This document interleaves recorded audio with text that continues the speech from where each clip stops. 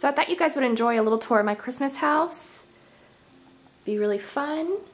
Just a lot of different ornaments. Each year we have a baby tree and a big tree and we theme the trees. So these are all crafted, handcrafted goodies that are on the tree that are made of fabric. Just a lot of fun. The reason why there's a cage surrounding the tree is so the dogs don't uh, get onto the tree. Um, and that uh, the sound you may have heard in some of my tutorials this season is coming from this clock. It's set to Christmas songs, so that's why. And then just a bunch of little things lined up in a row.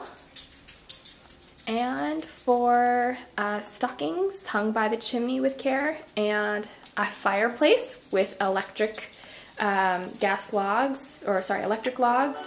They reduce pollution. Sorry, that's another clock.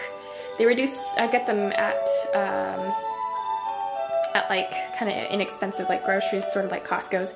But yeah, basically these reduce emissions into the air and they're just healthier for the environment. And here is the baby tabletop tree, also with handcrafted ornaments. This year they were themed alike, and these are also little handcrafted goodies that are inspired by Dutch culture. And every year my little sister and I take a picture with Santa Claus. And there is our Christmas wreath and a puppy. Hi, Lucy.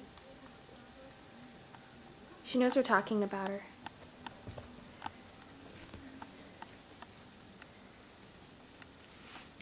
Alright, let's see if we can find Teddy. Where's Teddy?